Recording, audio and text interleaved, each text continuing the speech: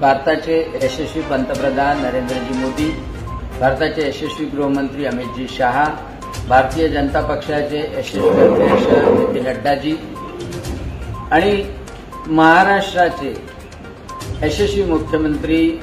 आणि विरोधी पक्षनेते देवेंद्रजी फडणवीस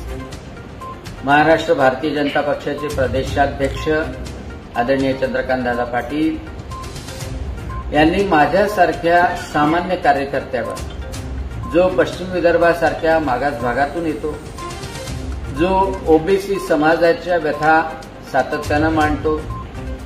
जो शेतकरी आणि शेतमजुराची भाषा बोलतो त्या सामान्य कार्यकर्त्याला राज्यसभेची उमेदवारी देऊन सन्मान जो केला आहे संधी जी दिली आहे त्याच्याबद्दल मी मनपूर्वक आभार मानतो. आणि ही दिलेली जबाबदारी.